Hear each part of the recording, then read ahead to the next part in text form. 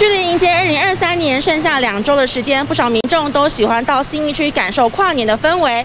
今年户外可以脱口罩，加上少了往年的管制区，北市府预计人潮可能比疫情这两年还要多。今年疫情趋缓，国内外旅客多，北市府预计可能会恢复到疫情前的人潮。为了方便各国旅客交通指引，这次找来多国志工协助大家。只是说先前的韩国梨泰院大型踩踏事件，市府也事先防范。就是在区域的人流人数上面，我们会做一个加强管制哈，我们。呃，过去以来一直都有做三级的管制，在我们的出口。呃，在我们的这个闸门口以及在月台上，我们的人数呢会做一定的人数的控制。今年也新增加净空缓冲区，会在重要出口把管制范围往外推一公尺，像是市府站以及台北一零一世贸站。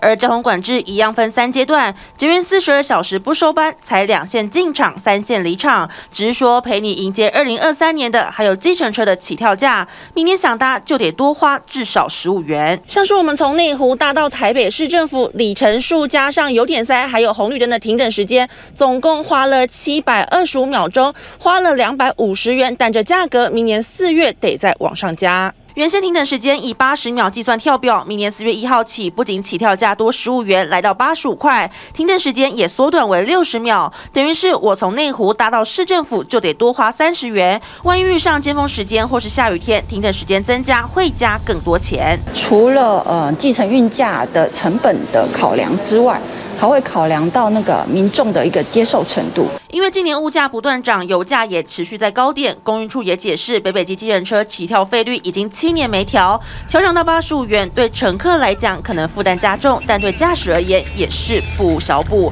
TVB 顺数观的立台报道，请支持专门报道。国际新闻的全新 YouTube 频道。TVBS 国际 Plus，扩大视野，掌握趋势。邀请您订阅并且开启通知小铃铛。